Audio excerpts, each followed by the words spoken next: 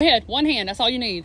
And hey, there you go. No, all the way, all the way. Push it all the way back, all the way back, and snap it. Boom. There you go. All right, and then, oh, okay. All right, baby's gonna go in there. Oh, she wants to sit up. Okay. Boom. Where's her blanket at? She don't need a blanket? No, because it's cold outside and we got warm stuff on. Oh. And when we get inside, it's going to be cold, so that's why. Oh. There she goes.